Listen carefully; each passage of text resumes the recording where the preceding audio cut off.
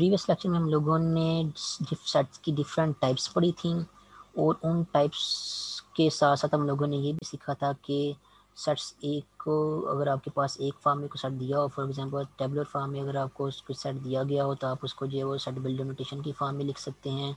और उसके अलावा अगर आपको सेट बिल्डर नोटेशन की फार्म में अगर कोई सेट दिया गया तो आप उसको जो है टेबलर फार्म में लिख सकते हैं। उसके बाद नेक्स्ट हम लोगों ने डिफरेंट ऑपरेशन सेट के ऊपर जो डिफाइंड है, उनको पढ़ना है। तो जिनमें यूनियन इंटरसेक्शन कम्प्लीमेंट वगैरह हैं तो सबसे पहला जो प्रश्न हमने पढ़ना है वो है union of a set union of sets. कि सेट्स का यूनियन जो है वो कैसे फाइंड आउट करते हैं? तो अगर आपके पास दो सेट्स हैं लेट से capital A and capital B तो उनके यूनियन को हम मैथमेटिकली जो है वो इस नोटेशन से जो है वो लिखते हैं। ए यूनियन बी इसको पढ़ते हैं। और इस ए यूनियन बी जो है दो सेट्स का कैसे फाइंड आउट करते हैं? कि सेट में, दोनों सेट में जितने भी एलिमेंट्स मौजूद हैं उन सभी एलिमेंट्स को जो है इकट्ठा करके जो है वो एक सेट बना देते हैं। अगर दोनों सेट में कोई दो, एक एलिमेंट जो रिपीट हो रहा है, यानी कि एक एलिमेंट ऐसा भी है जो दोनों सेट में मौजूद है तो उस एलिमेंट को हम जो है वो एक ही बार लिखते हैं। तो दोनों सेट के एलिमेंट्स को इकट्ठा करके लिख देंगे, जो एलिमेंट्स दो बार हैं, आ रहे हैं, उनको एक ही बार लिख देंगे। और उनको इकट्ठा करने के बाद जो नया सेट बनता है, उसको हम कहते हैं वो क्या हमारे दोनों सेट्स का यूनियन है, उसको हम जो ए यूनियन बी से जो है वो रिप्रेजेंट करते हैं इस तरह। तो सेट्स का यूनियन क्या होता है द यूनियन ऑफ़ और दो set two sets A and B is noted by this notation वो सेट क्या होता है is the set that contains those elements which are either in A or in B or in both.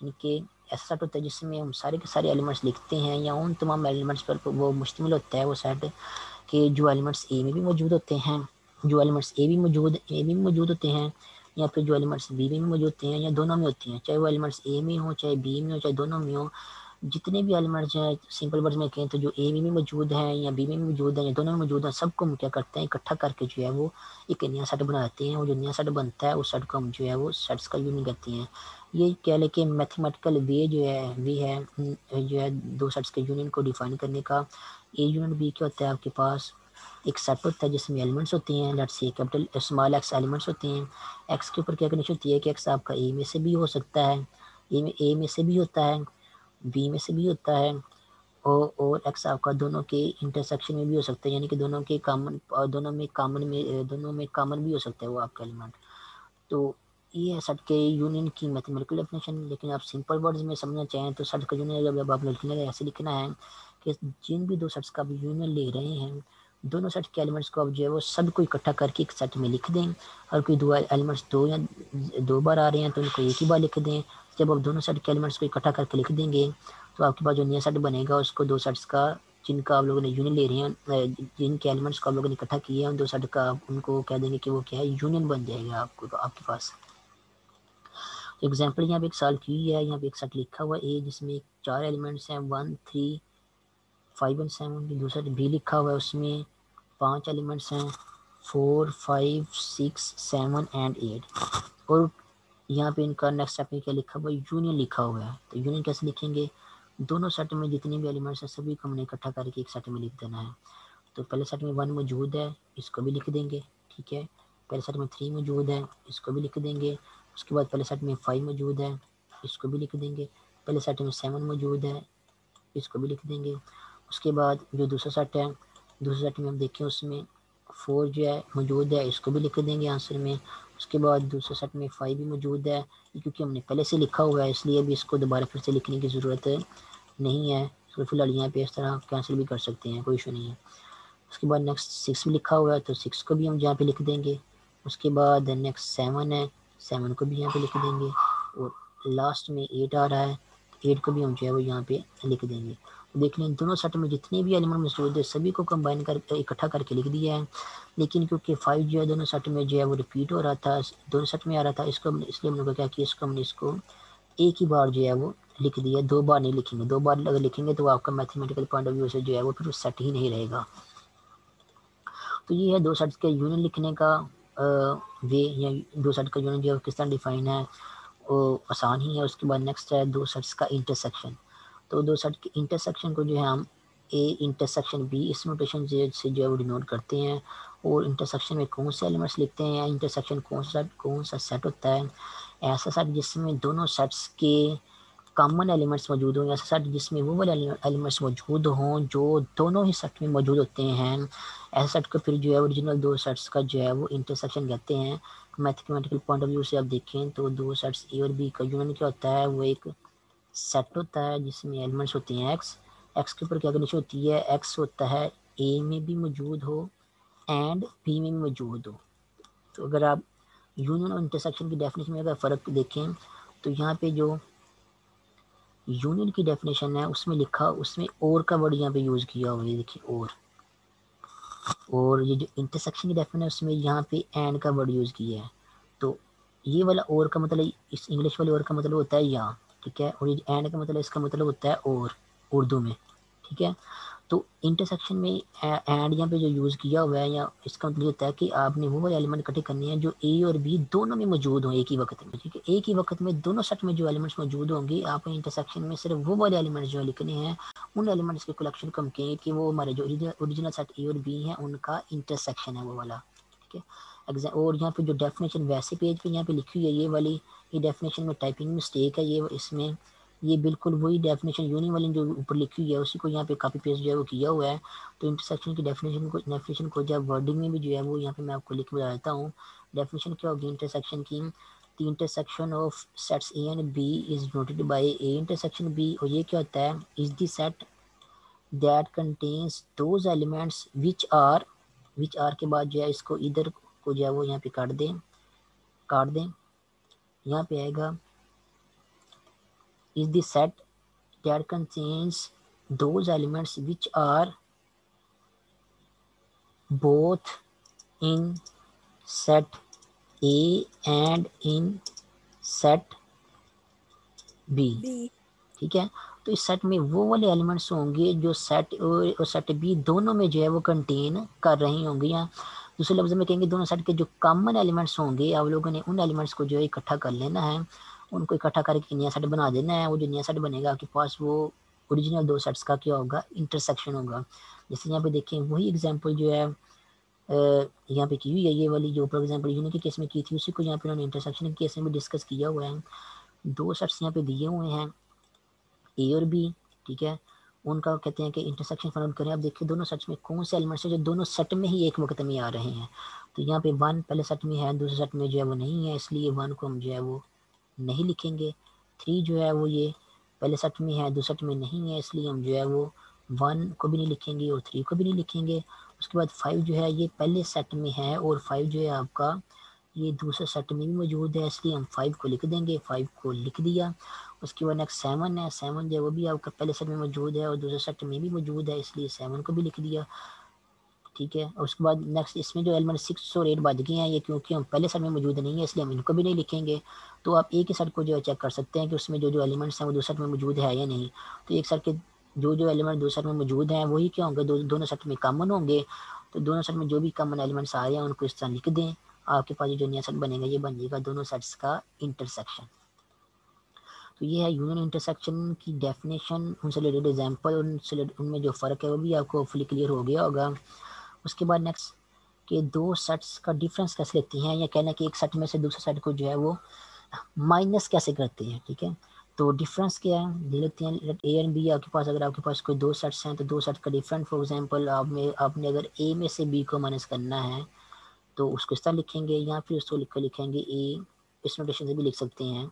ए, उस तरह एक line लगा लें। इसका मतलब ये कि हमने ए में से जो है वो बी को माइनस करना है। या जो आसान नोटेशन है, ये वाली आप इसको ही यूज़ कर सकते हैं, जो कि ज़्यादा बेहतर है। आप ये कह देंगे सेट ए है। उसमें से हमने सेट बी को जो है वो माइनस करना है। तो एक सेट में से दो सेट को माइनस कैसे करते हैं? उसकी मैथमेटिकल डेफिनेशन तो ये लिखी हुई है। ए में से बी को माइनस करने की। इस तरह अगर आपने बी में से ए को माइनस करना है तो उसकी भी डेफिनेशन यही है, जैसे आपके सेट जो हैं, वो चेंज हो जाएँगे। तो एक एक वक्त में हम एक एक डेफिनेशन को ही करते हैं। हम ये करते हैं कि सेट ए में से बी को माइनस अगर करें तो इसकी मैथमेटिकल डेफिनेशन क्या होती है, उसका तरीकाकार क्या होता है? तो सबसे पहले मैं आपको इसका तरीकाकार बताता हूँ कि सेट ए में से बी को माइनस कैसे करते हैं। उसके बाद ये जो डेफिनेशन यहाँ पे लिखी हुई है मैथमेटिकल डेफिनेशन तो सेट की डिफरेंस की, वो भी मैं आपको बताऊँगा, फिर आपको जो है वो आसानी से समझ में आ जाएगी। तो फॉर एग्ज़ाम्पल यहाँ पे दो सेट लिखे हुए हैं। एक सेट आपके पास यहाँ पे लिखा हुआ है कैपिटल ए इसमें कौन से एलिमेंट्स इसमें एलिमेंट है one two five and six ये चार एलिमेंट्स हैं।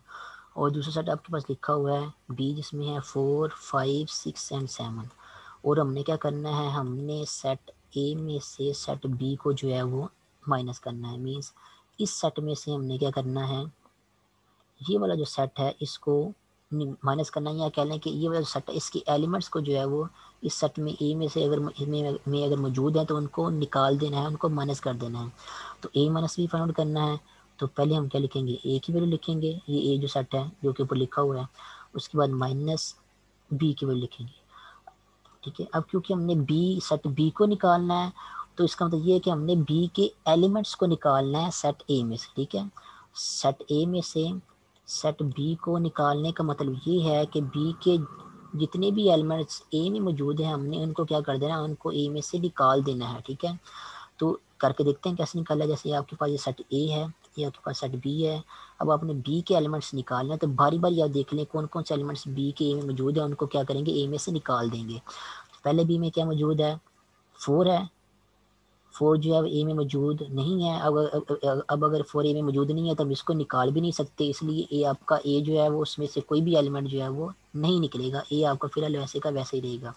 उसके बाद नेक्स्ट बारी आती है फाइव की। फाइव को देखते हैं कि वो ए में मौजूद है या नहीं। फाइव ए में मौजूद है, इसलिए हम इसका करेंगे, इस फाइव को ए में से निकाल देंगे। जब फाइव को ए में से निकाल देंगे तो आपके पास आंसर क्या बचेगा वन टू एंड सिक्स ठीक है? उसके बाद नेक्स्ट एलिमेंट बी का कौन सा आ रहा है? सिक्स आ रहा है। तो सिक्स अगर बी में मौजूद है तो सिक्स को भी निकाल देंगे। सिक्स भी बी में मौजूद है, इसलिए हम क्या करेंगे? सिक्स को भी निकाल देंगे। सिक्स भी बी में से ए में से निकल गया।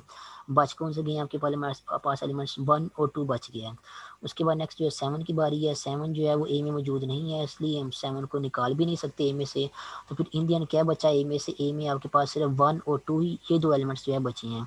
इसका मतलब जो ए माइनस बी है, उसका आंसर आपके पास क्या आएगा? उसका आंसर आपके पास आ जाएगा वन और टू ये दो जो एलिमेंट्स का जो सेट बना है आपके पास ये आपके पास आंसर है ए माइनस बी का आंसर अब देखें इंडियन आपके आंसर में कौन से एलिमेंट्स आए हैं? आपके आंसर में अगर देखें तो आपके आंसर में वो वाले एलिमेंट्स आए हैं जो ए में तो मौजूद हैं ये वन और टू ये देखिए आंसर आपके आंसर में ये वाले एलिमेंट्स आए हैं ये ए में तो मौजूद हैं लेकिन ये एलिमेंट जो है बी में मौजूद नहीं है. हाँ जी पूछें एक्सक्यूज सर सर, आपको मुझे ये समझ नहीं आई जो फोर और सेवन है, इसको कहाँ निकालना है? मतलब कि वन टू कैसे आ गया?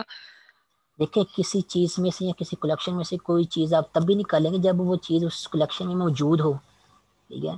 तो यही कंसेप्ट जो है, यहाँ पे यूज़ कर रहा हूँ डिफरेंस लेने लेने वाला कि जब आप फोर को जो है वो, जो सेट बी में फोर है, इसको इस सेट में से निकालेंगे तो सेट में फोर तो है ही नहीं तो इसका मतलब आप निकाल भी नहीं सकेंगे। तो निकाल भी नहीं सकेंगे मतलब ये कि नहीं निकलेगा कुछ भी सेट में से।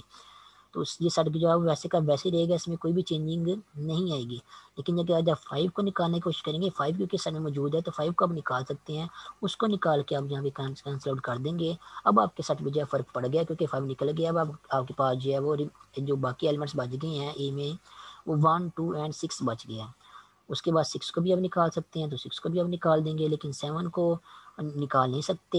ए बी ए में से क्योंकि सेवन इसमें है ही नहीं। जब है ही नहीं तो हम निकाल भी नहीं सकते। इसलिए आपका जो ए है उस पर कोई फ़र्क जो है वो नहीं पड़ेगा। तो मैंने आपको पहले बताया था कि, कि सेट में से ए में से बी बी को निकालने का मतलब ये है कि बी के जितने भी एलिमेंट जो हैं वो ए में मौजूद हैं। जितने भी एलिमेंट जो ए में मौजूद हैं यानी कि जो एलिमेंट्स मौजूद नहीं है उनकी बात नहीं मैं कर रहा। बी के वो वाले एलिमेंट जो ए में मौजूद है आपने उनको निकाल देना है। ये होता है पूरे के पूरे सेट को जो है उस एक ए, एक सेट को जो है दूसरे में निकालने का मतलब कि उस सेट का कोई भी जो है ना कह लें कि लिंक जो है ना या उस, उस दूसरे सेट के साथ जो है ना रहे उस सेट का जो है वो पूरा जो है टोटली डिसजॉइंट हो जाए। निकालने का मतलब ये होता है कि पूरे का पूरा एक सेट जो दूसरे से टोटली डिसजॉइंट हो जाए। जब देखें आप ए में से बी को निकालेंगे आपके पास जो है क्या मिला? वन और टू मिला है। वन और टू जो है वो ये कोई और सेट है और फोर फाइव सिक्स सेवन जो आपके पास बी है ये कोई और सेट है। तो टोटली क्या हो गया? अलग अलग हो गए हैं। तो जब एक चीज़ में एक चीज़ में से कलेक्शन में से आप कोई चीज़ निकाल देंगे तो निकालने के मतलब ये होता है आप उन दो चीज़ों को आपस में अलग अलग कर देते हैं। तो एक सेट में से दूसरे को निकालने का मतलब ये होता है कि उनको आपस में अलग अलग करने इनके दरमियान कुछ भी कामन ना रहे। अलग अलग निकालने का मतलब ये, करने का मतलब ये कि उनके दरमियान कुछ भी कामन ना रहे, उनको आप सेपरेट कर दें। तो ये है सेपरेट करने का वे कि आप देख लें कि जो दूसरा जिसको आप निकाल रहे हैं, उसके जितने भी एलिमेंट्स या जो जो एलिमेंट्स आपके पहले सेट में मौजूद हैं, आप क्या करें, उन एलिमेंट्स को जो है निकाल दें। निकालने के बाद इन दी एंड आपको जो फाइनल आंसर मिलेगा वो क्या होगा? आपका दो, उन दोनों सेट के डिफरेंट का आंसर होगा या ए माइनस बी का आंसर होगा। तब अगर आप अपने ए माइनस बी के आंसर को देखें तो इसमें कौन से एलिमेंट्स आ रहे हैं? इसमें जारी बात है ए इन दी एंड ए के ही एलिमेंट्स आएँगे, वो थोड़े एलिमेंट भी आ सकते हैं, ज़्यादा एलिमेंट्स भी आ सकते हैं, लेकिन ए के कौन से एलिमेंट्स आ रहे हैं? ए के सिर्फ़ वो वाले एलिमेंट्स आ रहे हैं वन और टू सिर्फ़ वो वाले एलिमेंट्स आ रहे हैं, जो कि बी में मौजूद नहीं है। क्योंकि जो एलिमेंट्स ए के एलिमेंट्स बी में मौजूद थे फाइव और सिक्स हमने क्या कर दिए हैं, वो निकाल दिए हैं। तो इन जनरल आपका ए माइनस बी का जो जो डिफरेंस है, उसका आंसर क्या आता है? आपका आंसर जो है, वो ये आता है ये जो मैथमेटिकल फॉर्म पे लिखा हुआ है ए माइनस बी का आपका आंसर क्या आता है? इसमें ए के एलिमेंट्स आते हैं। जारी बात है ए में से अगर आप बी को निकाल रहे हैं तो इन जनरल आपके आंसर में जो एलिमेंट्स आएँगे, वो ए के एलिमेंट्स आएँगे। लेकिन ए के वो वाले एलिमेंट्स आएँगे एंड ए के वो वाले एलिमेंट्स आएँगे जो बी में बिलोंग नहीं कर रहे होंगे या बी में मौजूद नहीं होंगे। जैसे यहाँ पे देखें, ये आपके पास सेट ए है, ये आपके पास सेट बी है। अब सेट ए में में से एलिमेंट देखें कौन कौन से एलिमेंट है जो ए में तो मौजूद हैं, लेकिन बी में मौजूद नहीं है। वन जो है ए में मौजूद है बी में मौजूद नहीं है। ये भी आपका आंसर में आ जाएगा। उसके बाद टू जो है वो ए में मौजूद है बी में मौजूद नहीं है, इसलिए ये भी आपका आंसर में आ जाएगा। लेकिन आपका जो फाइव है ए में मौजूद है और बी में मौजूद है, इसलिए आपका आंसर में नहीं आएगा। उसके बाद सिक्स जो है वो भी ए में मौजूद है और बी में मौजूद, वो बी में मौजूद है, इसलिए भी आपका आंसर में जो है वो नहीं आएगा। तो इन दिया जब आपने ए के एलिमेंट्स को चेक किया तो ए के एलिमेंट्स में सिर्फ़ आपको वन हो टू ही ऐसे दो एलिमेंट्स मिलेंगे, जो कि ए में तो मौजूद हैं और उसके साथ साथ बी में मौजूद नहीं है। ए के जो बाकी दो एलिमेंट्स हैं, वो ए में ए बी में मौजूद हैं फाइव और सिक्स और बी में मौजूद हैं। इसलिए हम इनको आंसर में नहीं लिखेंगे। जो एलिमेंट्स ए में मौजूद हैं बी में मौजूद नहीं है, उनको हम आंसर में लिखेंगे। तो इंडियन आपको ए माइनस बी का आंसर जो है मिल जाएगा। तो आप इस वे से भी जो है दो एलिमेंट जो सेट्स का डिफरेंस जो है फाइंड आउट कर सकते हैं। कि आप देखें कौन कौन से एलिमेंट जो है ए में मौजूद हैं और बी में मौजूद नहीं है। उन एलिमेंट्स को आप लिख लें तो आपको क्या मिल जाएगा? उन दोनों सेट्स का जो है वो डिफरेंस मिल जाएगा। या फिर जो दूसरा वे भी मैंने आपको बताया है कि बी के एलिमेंट्स देख लें कौन कौन से एलिमेंट जो है ए में मौजूद हैं। तो जो जो एलिमेंट्स ए मौजूद है, उनको जो है ए में से निकाल दें तो बाकी जो एलिमेंट्स बच जाएँगे, वो आपका दो सेट का डिफरेंट डिफरेंस जो है, आपको मिल जाएगा। जैसे फोर नहीं निकाल सकते हैं हम ए में से, ठीक है?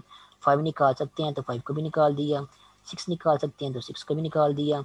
सेवन भी नहीं निकाल सकते इंडियन आपके पास ए के पास क्या बचा है? ए ए ए के पास ए में जो इंडियन आपके पास वन और टू बचे हैं तो वन और टू आपके पास क्या, आपको मिल जाएगा? ए माइनस बी का आंसर मिल जाएगा। तो आप इसमें से भी जो दो साइड का डिफरेंस जो निकाल सकते हैं। जैसे भी एक और एग्जांपल देखें तो आपको मजीद क्लियर हो सके। अब उन्होंने क्या किया बी में से जो है वो ए को निकाला है।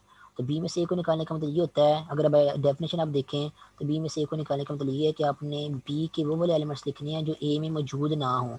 तो बी में फोर मौजूद है ए में मौजूद नहीं है तो इसलिए आपका फोर भी आंसर में आ जाएगा। उसके बाद बी में फाइव मौजूद है तो ए बी में मौजूद है, इसलिए आपका फाइव जो है आंसर में नहीं आएगा इसको हम यहाँ पे स्किप कर देते हैं।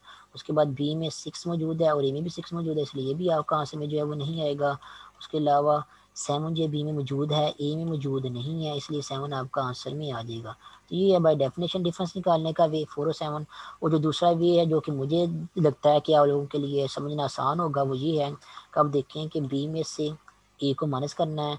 तो जिस सेट को माइनस करना है, आप देखें, उस सेट के कौन कौन से एलिमेंट जो है पहले सेट में मौजूद हैं। फॉर एग्ज़ाम्पल ये आपका पहला सेट है। ए में ए, ए में ए ए का सेट जिसको जिसमें वन मौजूद है जिसको हमने निकालना है बी में से आप देखें वन जो है वो बी में मौजूद नहीं है इसको हम इसलिए हम निकाल भी नहीं सकते। उसके बाद टू जो है वो भी बी में मौजूद नहीं है इसलिए हम इसको भी नहीं निकाल सकते। फाइव जो है वो बी में मौजूद है इसलिए हम इसको निकाल सकते हैं तो इसको हम यहाँ पे निकाल देंगे तो ये आपका जो है यहाँ पे कैंसिल हो जाएगा। उसके बाद सिक्स जो है सिक्स भी बी में मौजूद है इसको भी हम निकाल सकते हैं इसको भी हम निकाल लेंगे तो ये भी आपका कैंसिल हो जाएगा। बच गया इन दी एंड आपका बी जो पहला सेट है उसमें उसमें आपके पास सिर्फ़ जो है वो फोर और सेवन ही बचा है तो इसलिए आपका डिफरेंस जो है उसमें आंसर क्या आ जाएगा? फोर और सेवन वाला सेट जो है वो आ जाएगा। तो ये है आपका बी माइनस ए सेट निकालने का वे या दो सेट्स का डिफरेंस निकालने का भी दो तरीके मैंने आपको बताए हैं, एक बाय डेफिनेशन तरीका बताया, दो सेट्स का डिफरेंस कैसे फाइंड करते हैं, कि वो वाले एलिमेंट्स एलिमेंट्स लिख हैं जो पहले सेट में मौजूद हैं और दूसरे सेट में मौजूद नहीं है तो आपका क्या बन जाएगा? उन दोनों सेट्स का डिफरेंस बन जाएगा।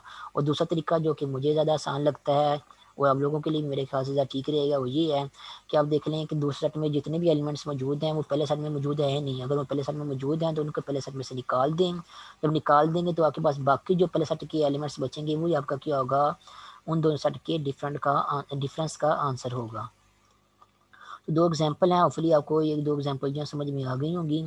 और एक बार चीज़ बात यहाँ पे आप नोट कर लें कि आप जो है, अगर आप ए में से बी को निकाल लेंगे और बी में से ए को निकालेंगे तो इन जनरल आपका आंसर जो है हमेशा आपस में इक्वल नहीं होगा, ठीक है? बिल्कुल ये नंबर की तरह ही है, जैसे अगर आप तीन में से दो को निकालेंगे तो आपका आंसर क्या आएगा? आपके पास आंसर जो है वन के इक्वल आएगा, लेकिन अगर आप दो में से जो है वो तीन को निकालेंगे तो आपका आंसर जो है वन नहीं, बल्कि माइनस वन आएगा डिफरेंट आ रहे हैं दोनों आंसर ये वाले।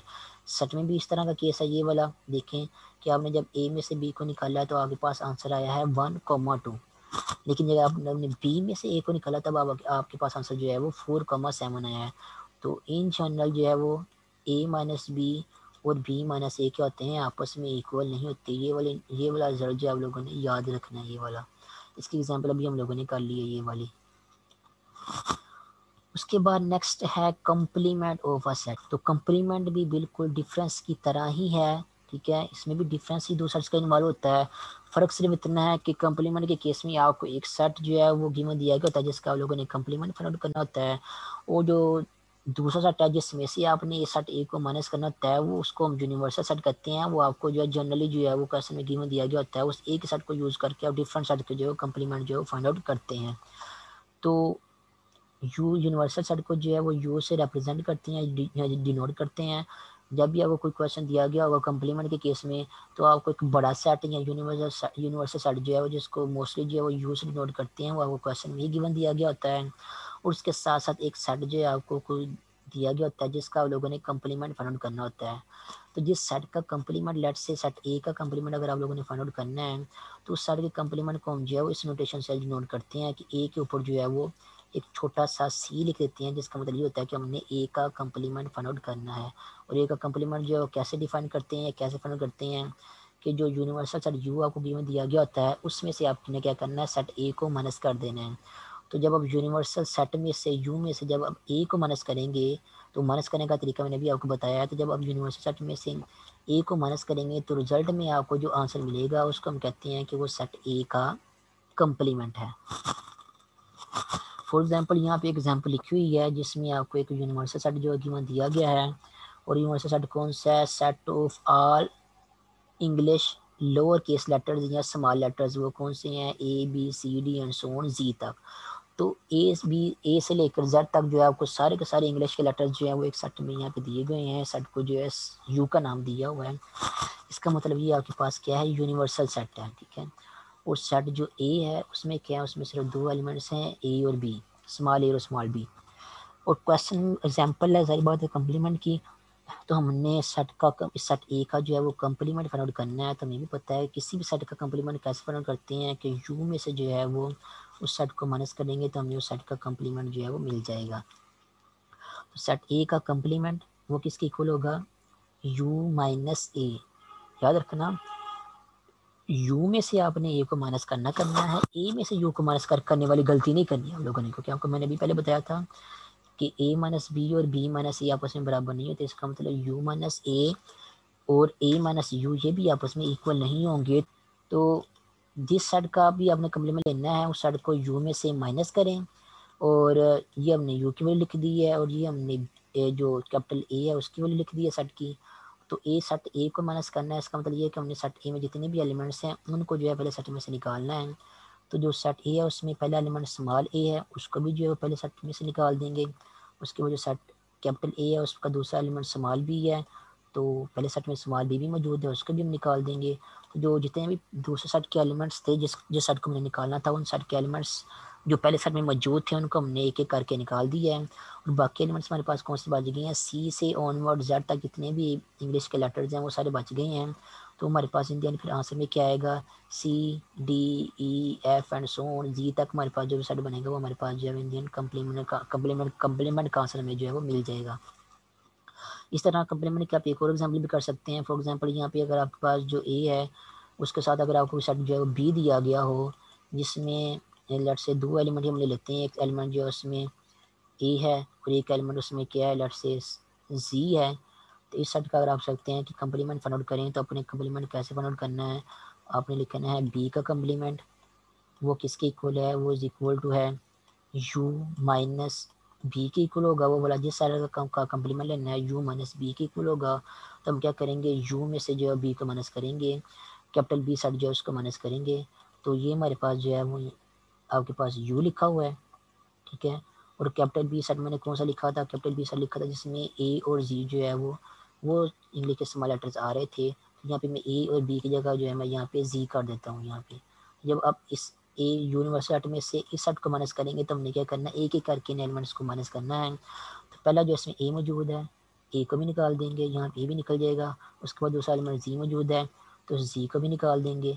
तो दूसरे सेट के सारे एलिमेंट्स हमने एक एक करके निकाल दिए हैं, जो भी निकल सकते थे।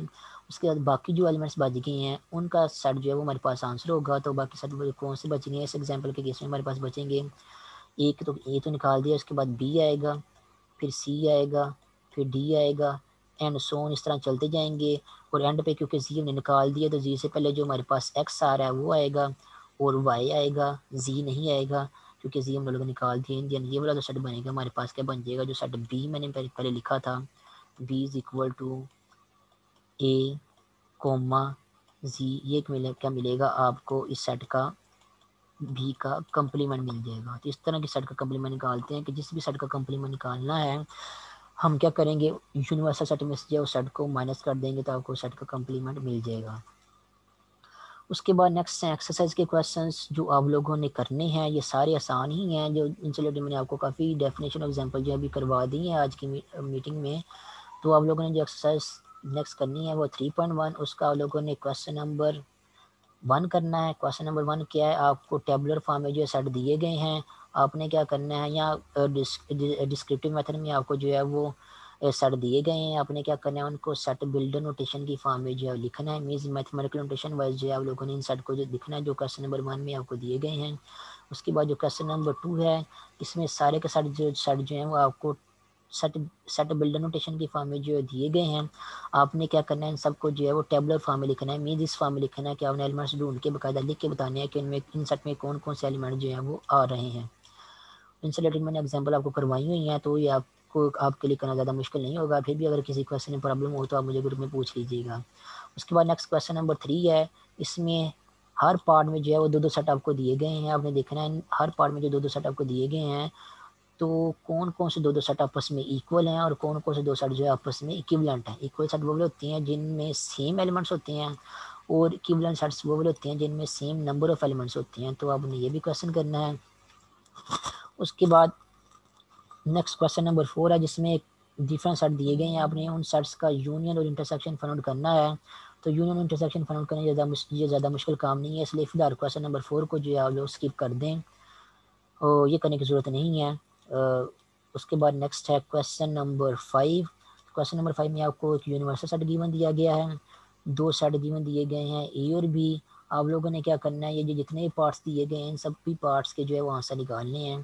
तो सभी पार्ट्स के आंसर निकालने की ज़रूरत नहीं है। आप लोग क्या करेंगे? जो क्वेश्चन नंबर फाइव है, इसमें आप लोग जो है वो क्वेश्चन नंबर फाइव का जो पार्ट नंबर फाइव है, ये कर लें। पार्ट नंबर सिक्स कर लें।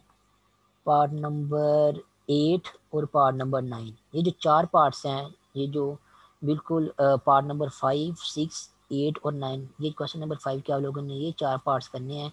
बाकी पार्ट जो है, अगर आप नहीं भी करेंगे, तब भी उसकी जो है, वो कोई, जो है, वो आप लोगों के लिए ज़्यादा परेशानी की बात नहीं है, क्योंकि आप लोगों ने ये कर ली है ज़बानी खुद तो बाकी भी आप देख सकते हैं, वो भी आप लोग जो है ऑटोमेटिकली कर सकते हैं खुद ही। उनकी अगर आप प्रैक्टिस ना भी करें तो वो आपका काम जो है, वो चल जाएगा।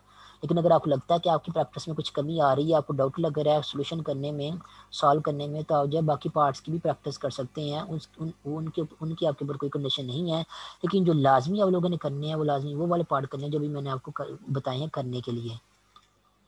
उसके बाद नेक्स्ट है question number six question number six में भी आपको जो है दो सेट दिए गए हैं। एक, यूनिवर्सल सेट है जो सेट बिल्ड नोटेशन में दिया गया है और दो सेट दिए गए हैं ए और बी आप लोगों ने यहाँ पे भी क्या करना है? यहाँ पे भी आप लोगों ने इस तरह जो है वो कम्प्लीमेंट और यूनियन इंटरसेक्शन वगैरह फाइंड करने हैं। तो आप लोगों ने क्या करना है? फिर क्वेश्चन नंबर जो सिक्स है, इसके भी आप जो है जस्ट दो ही पार्ट कर लें। एक पार्ट जो है आप इसका थ्री कर लें और दूसरा पार्ट जो है इसका सिक्स कर लें। ये दो पार्ट जो है आप इसके क्वेश्चन नंबर सिक्स के जो है वो कर लें। यही मेरे ख्याल से काफ़ी होंगी इतना। अगर आप लोगों ने ये दो पार्ट्स कर लिए तो बाकी पार्ट्स करना ज़्यादा मुश्किल काम नहीं है। लेकिन अगर आपको लगता है कि आपने मज़ीद प्रैक्टिस करनी है तो आप बाकी पार्ट्स अपनी मर्ज़ी से जो कर सकती हैं। लेकिन फ़िलहाल आप लोगों ने जो वो पार्ट्स लाजमी करने है, जो मैंने आप लोगों को करने के लिए दी हैं।